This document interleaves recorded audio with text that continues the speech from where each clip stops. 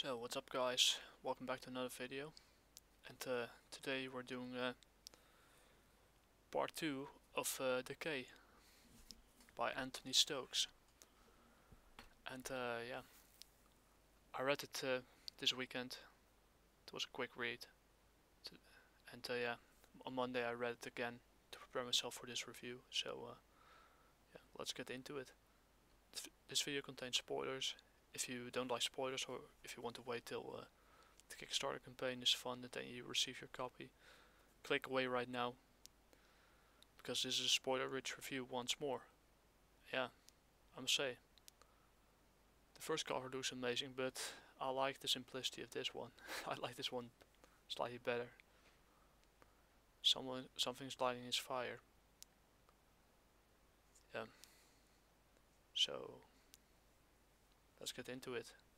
This issue takes place, uh, Decay issue 2 takes uh, takes place where uh, issue 1 took where issue 1 left off, start where issue 1 left off, in the aftermath of, uh, if you missed it or not, uh, if you missed it or not, Decay lost his uh, friend Marcus thanks to uh, a gunfire to uh, yeah a gang uh, yeah to gang violence or at least uh, gun violence.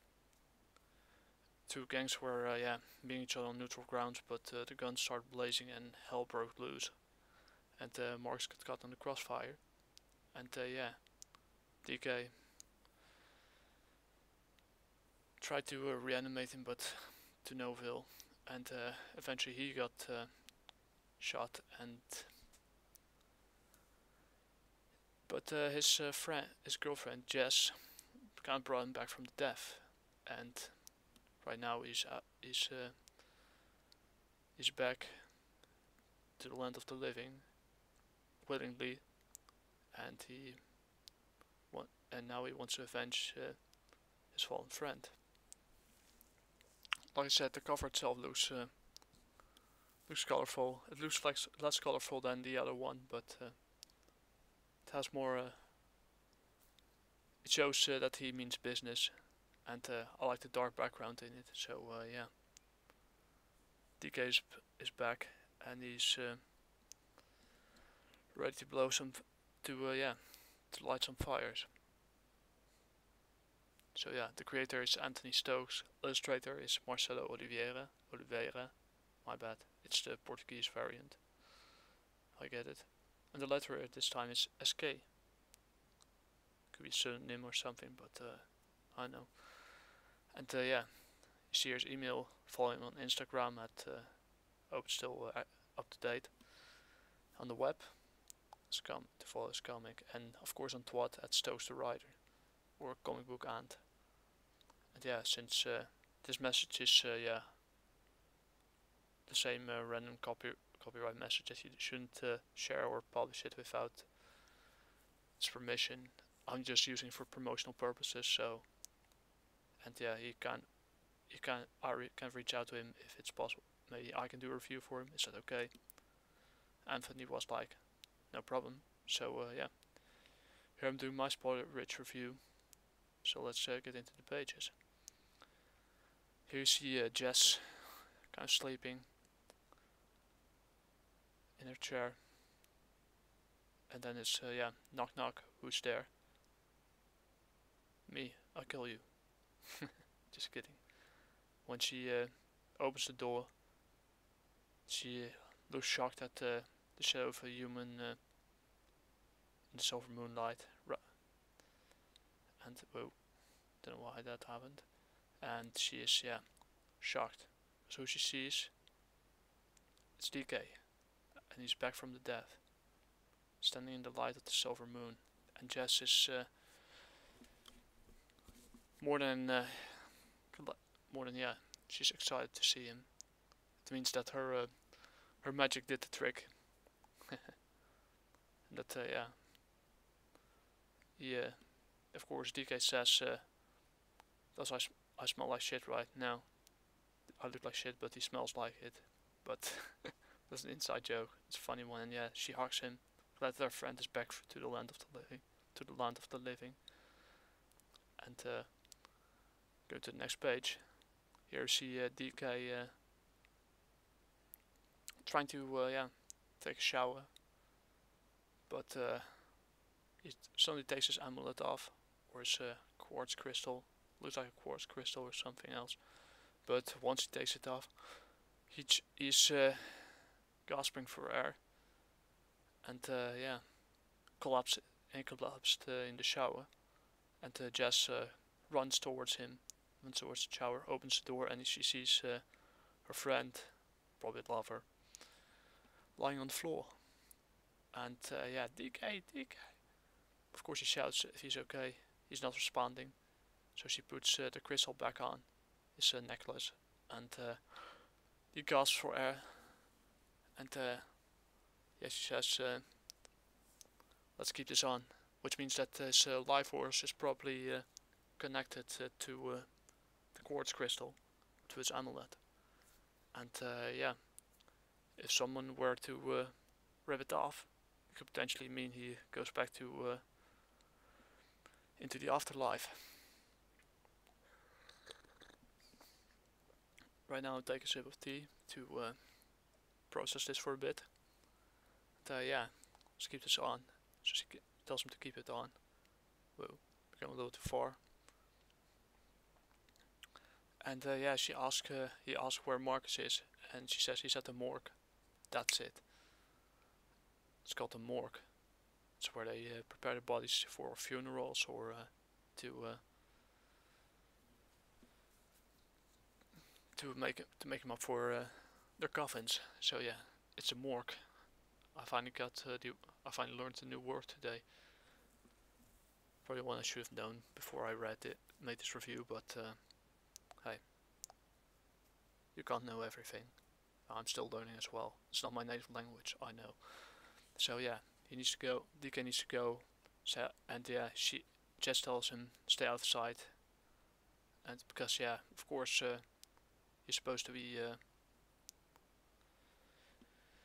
he's supposed to be dead and uh, into the into the afterlife, but uh, he's kind of came back from it. Gives me kind of Constantine kind of vibes to it. So uh, yeah, when he when they are at the morgue, he uh, DK opens the door. He uh, lifts uh, the the cloths up, and he sees uh, every and yeah he sees uh, the gang members who kind of went after at each other. So yeah, let's see one, two, three, four, five, six, seven, eight. Yeah, it's good enough. Eight panels is good enough, and yeah, he says no. When he sees who it is, he sees Trey lying there with uh, with the bullets in his chest, or these wounds in his chest. And uh, yeah, he's not coming back. And uh, yeah, here's the rifle, rifle, the his rifle, seeing the door opening. It's kind of a flashback to that moment.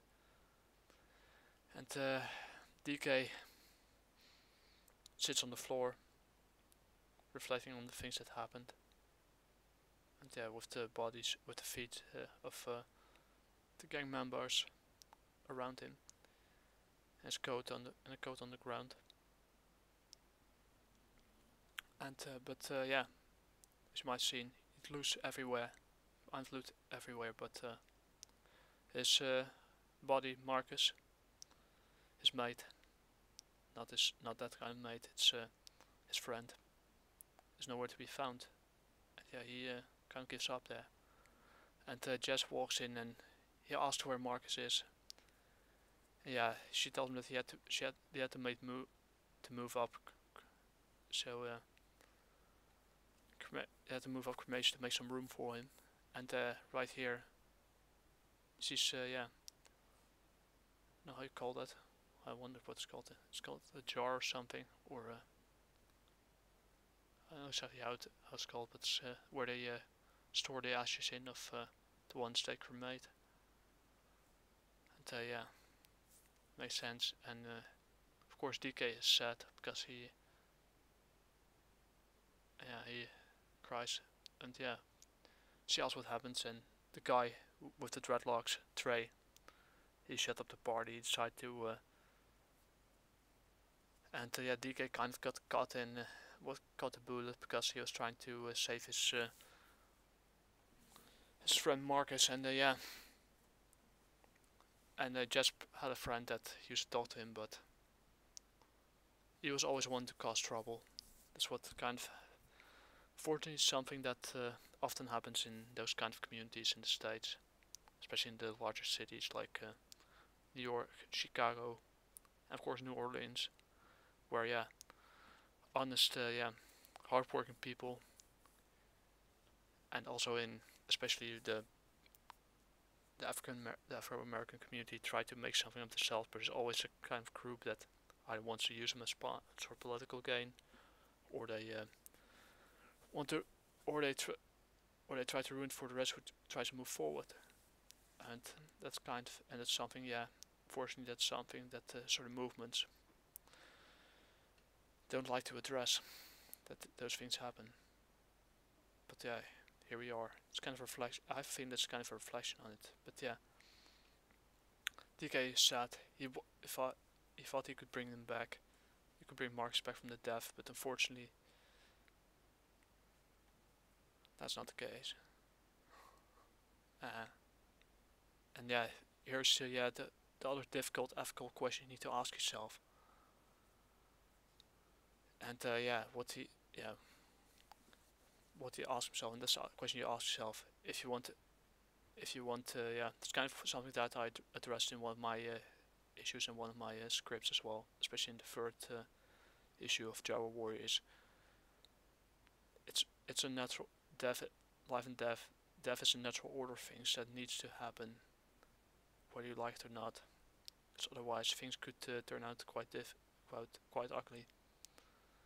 And uh, yeah the natural balance needs to be there and yeah there's always a question because what happens what if you bring someone back someone close to you someone you care about someone you loved they moved on to the afterlife there's there's no telling how he will come back and if if he wants to come back and how he will come back is the other question because he could be an entirely different person or have no mind of his own at all no memories of his previous life so yeah, those are difficult ethical questions you need to ask yourself.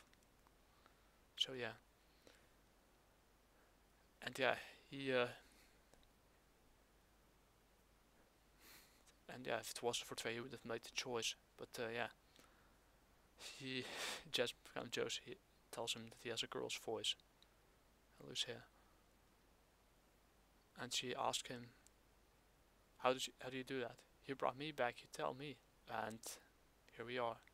There's a voice in uh, DK's head that's not uh, that's not entirely his. And uh, yeah, that's probably one of the side. And yeah, like here, what she tells him, it's one of the side effects of her of the voodoo magic. So he might come back, but uh, from the, from the looks of it, there's another voice uh, inside his head. There's no, uh, it's not telling who it is, but it's uh, the voice of a of a girl, at least a woman. So that's next he sees here. He tells him, does your friend have Trey's numbers? And here we go to, yeah, the revenge part. He wants to find Trey, uh, wants to find Trey's number. And uh, yeah, the ga and yeah, the members of his gang. And yeah, here they are sit, they're standing at uh, what seems to be uh, some kind of sport, sport or old bu abandoned building where the gang members sit with their uh, with their uh, yeah vehicles having a smoke and uh, doing some things on their phone in the light of the silver moon and uh, DK nice splash by the way I love the details in it especially the fire here he prepares a Molotov cocktail. And we all know what happens next. He uh, throws a Molotov cocktail at uh, at the at the gang members. It spins through the air, sparks flying around it, and splosh! It hits his dark. It hits straight. Uh, hits his target straight in the chest, and he catches fire. And yeah, of course, the other camera members don't know what where the hell it, came from. and DK uh, could be a flashback or not. DK throws uh, them. It's kind of hard to follow. DK throws uh, yeah another Molotov cocktail. This uh, is the guy Trey. He uh, shoots his gun, and uh, yeah, he looks him in the eye and ping. Apparently, the crystal in his around his neck uh, starts to shine, and uh, DK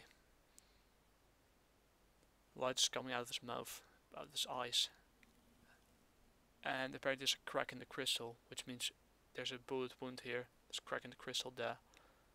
So something, I something happened is about to happen to him, and uh, yeah.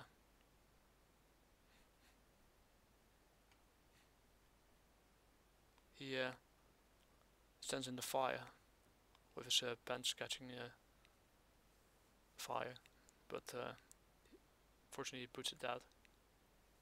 But looks like it, and the other gang members. They look at him. Yeah, they have to save him. They have to get some help. They try to get uh, Trey, uh, get some help. But uh, yeah, DK comes running after him, but uh, one of the gang members uh, stands in his way, blocks his way, and uh, he tells him, "Petey, let's go. Fuck that. I'll meet you at the hospital." And uh, he is about to. what you see from here, he has him in his. Uh, is on top of him, putting his weight on top of him. He has no. DK has nowhere to go, and uh, yeah, he's going to give him some uh, lead poisoning. Long story short. Some good chamomile. Good tea. And uh, yeah. He throws something in the in the car. He smashes uh, the the gun out of uh, the member's hand. The police starts coming, and uh, yeah, he starts to choke. He starts to choke him, but uh, he also tells him, "Rest in peace." Is he? But there's typical. I can saw coming here. We all know what's happening next. He's not. DK is not dead. He's basically on death at the moment. As long as his uh, necklace with his uh, quartz crystal, at least I think it's quartz, could be something else like uh, like topaz or something, aquamarine. Maybe it could be beryl or uh, agate. It's basically the same thing as quartz, but with different colors. Either way, he's uh, he's choking to death. Tells him rest in peace, but uh, runs away he thinks she had choked him to death, but uh, DK has other ideas. He can't die as long as his uh, necklace is still on, and he basically slits his throat with a piece of glass, or at least it looks like a razor or something, and he's bleeding out. And he lies on the ground. The cops are coming, trying to uh, reanimate him, but he's uh, no response. And yeah, he's uh, sitting there, tongue uh, sticking out of his mouth in a body bag. And yeah, the police put him in the back of a van. And uh, yeah, they can bring him back to the morgue. And uh, yeah, Jess opens it up and DK comes out of there like I expected. Unscratched. And yeah, he tells him what the She is surprised, what the hell? And he tells him, sorry, I didn't mean to scare you. Did you do this? Yeah, of course he did this. What do you expect? That was kind of uh, predictable that he did that. you could have seen it come. But uh, I like the way how it builds up to this. It's a uh, nice way of, uh, yeah, I like how it flows from this to, from, uh, yeah, the fan, the police fan, to this moment where he comes out of the body back unharmed. it's kind of, uh, I know it's a dark story, but uh, there's some, uh, yeah, humor in it they expected. I expected, and he, uh, of course, Jess helps him to remove the bullet wounds, but uh, yeah, it was empty, right? Yeah, yeah, she was worried about him, and yeah, there's, uh, the crystal is, uh, yeah, still showing some cracks. The quartz crystal with the copper or golden chains around it. She was worried. Yeah, bring him back and does it hurt? No, he doesn't feel anything. And uh, yeah, she helps him to get stitched up and uh, get the bullets removed from his uh, body. And uh, yeah, and uh, he asked him about uh, she asked him about Marcus, but the guy basically tried to choke him out, to choke him out, and he asked him how or asked her, asked Jess, use uh, her phone, and yeah, he uh, yeah she asked him why didn't he use your own? She he tossed it away, cause yeah, he didn't want to get, leave any traces properly.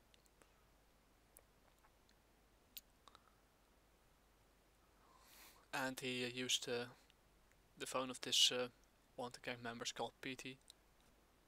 Asked him, uh, and yeah, he asked him, "Hey, Petey, why you calling me?" I'm terrible at uh, giving that uh, accent, so yeah. Pity, why are you calling me on this number? Yeah, this sounds terrible. I tried. My accent is too used to the British English, so uh, let's keep it there. I grabbed the, grabbed the burner, killed the guy from, and ran from the cops. Where you at? When's your birthday, huh? When's your birthday? What else is he talking about? It's you, the guy at the drink stand. He and he figured him out. The moment he realized that, ouch. He knows who he is. So yeah, he tried to be some vigilante, but he kind of let his guard down, let him know who, the people were. And yeah, the crystal's still shining half yellow. The, then there's a hidden meaning behind it. She asks him, she has a stiletto. Looks like stiletto at least. And uh, he, uh, he got a certain... It, uh, she looks at it and yeah, no, she's not, to, she's not going to do it. And uh, DK tells him, she assumed Laz. And here, this, here stands was that Trey or some other member? Or another guy. Trey's there. And here's the other guy. Here's the other guy. He's having a smoke from the emergency. In front of the hospital, having smoke, but suddenly he drops his cigarette with a horrified look in his eyes.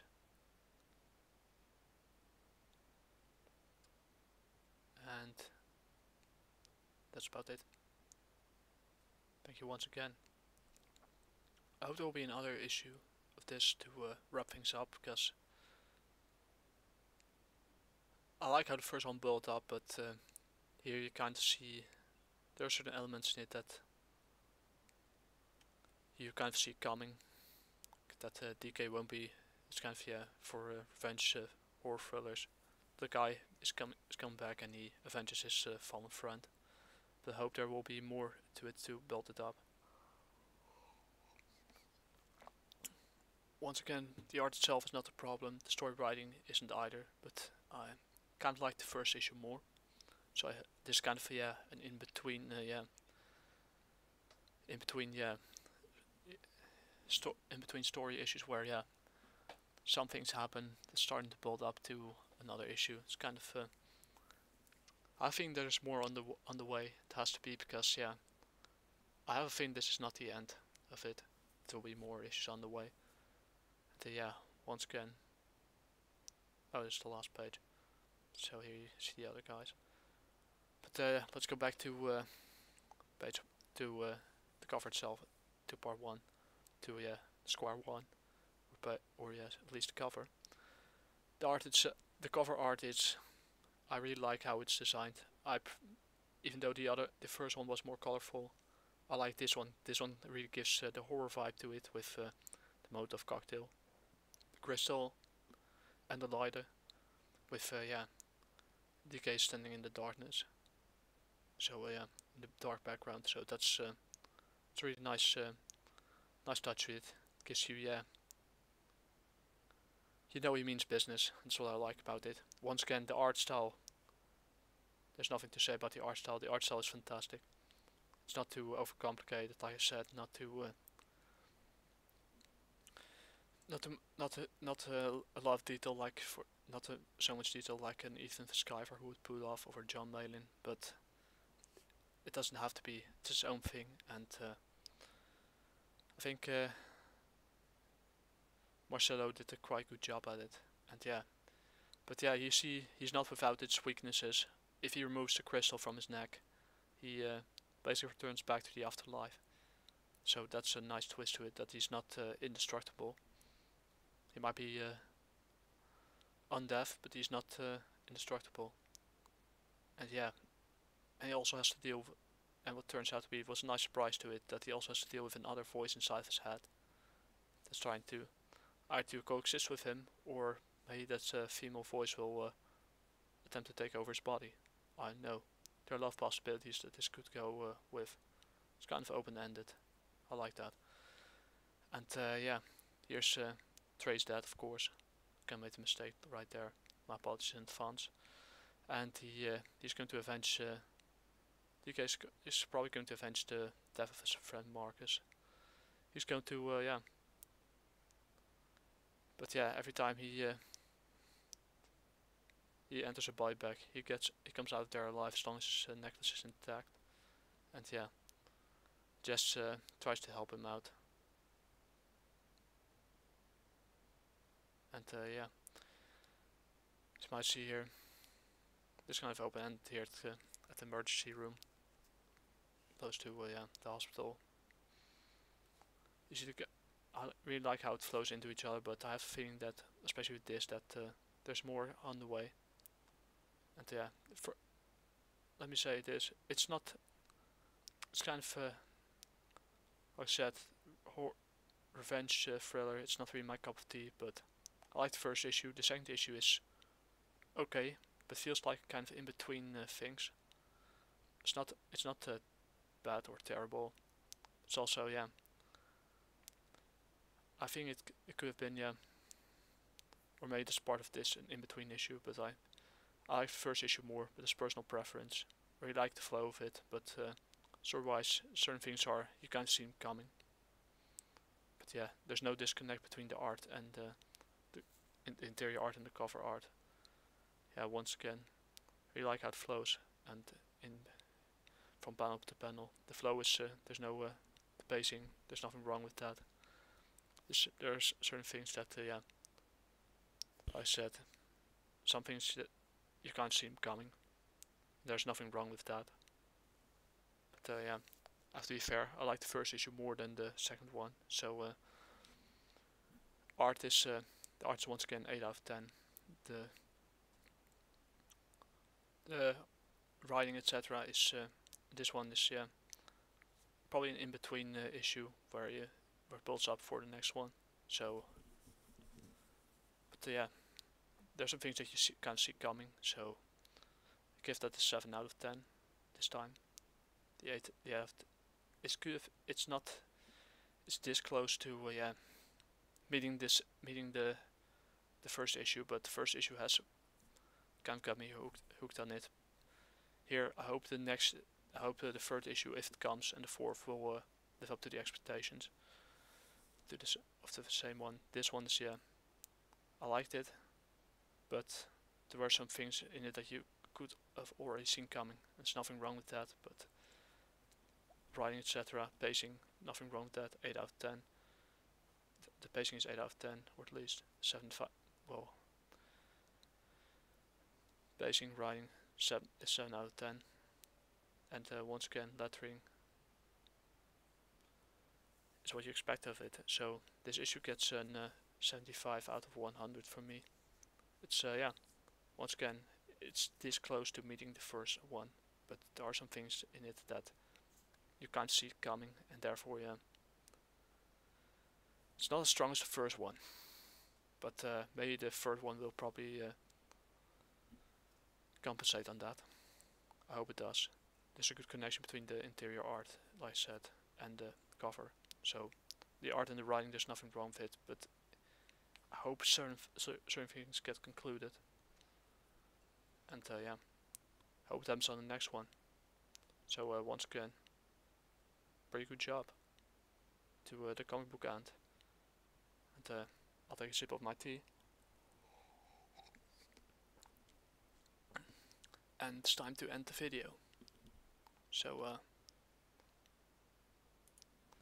my name is Spore Hacker. If you'd like to see what I'm uh, to make me more videos like this, reviews, you can uh, yeah, leave a like, comment, subscribe if you want to, retweet, share with your uh, with your uh, social media circles, etc. It really helps the channel out, me out, and yeah. The Kickstarter is still going strong. Around uh, yeah, it's probably takes uh, around 60, 70 hours before it uh, ends. So uh, grab your copies quick. I personally went for the digital because uh, shipping costs. You all know people who are more more familiar with the indie comics have more experience. Shipping costs uh, and crowdfunding, etc. The shipping costs are quite uh, yeah, expensive, especially when you have to uh, have to ship it all the way from the states. It goes from uh, 20 or 15 to 20 to 35, and I'm I'm similar similar in that uh, I have the same opinion like David Brink on that one. If it goes over 20 or 25, it's not worth get. It's uh, yeah for me it's not worth getting the physical uh, because yeah I also have to pay uh, for uh, for shipping, but also pay that little thing called uh, VAT. That's kind of a tax on on importing goods from outside the European Union, and it's I think the latter is uh, yeah I know that that you have to ta need tax to finance things, but this is kind of theft according to me. I think Ripa would have agreed with that as well. But yeah, this Kickstarter is still going strong. I uh, post in the comment down below. And if you like to see what I created with my hardworking friend Nev, Jera Warrior issue 1, Death of the Family is available uh, on my own site, thejerawarrior.com, as a vertical scrolling webcomic. And if you like, uh, it's also on uh, Global Comics, where you, as a more traditional format. And uh, yeah, you can uh, change the format. You can read however you want to, and it's bilingual. It's both in uh, Espanol y and English. So, so Nederlands. In Nederlands we call, in Dutch we call it in Spaans and in in Engels. So yeah, in uh, Spanish and in English. Yeah, sometimes uh, a veces uh, cambio de lengua, de lengua soms gebeurt dat. It happens. But uh, yeah. And if you like, to, if you, after that you think, hey, this indie creator is quite good, maybe you can help do something to help him out. Yes, you could. Jera Warrior issue issue one is also available on uh, Gumroad, where you could get uh, for two uh, dollars you could get the PDF and uh, the CBR file into one package for as much as yeah two dollars. Not too much, not too little and it would really help me out to get into the Discover program. So, but therefore I need you guys to help me out. Those who uh, are watching right now, I put the links down in the description. You probably find them as well in the in the first uh, video. And uh, yeah, I call it uh, I call it quits for tonight.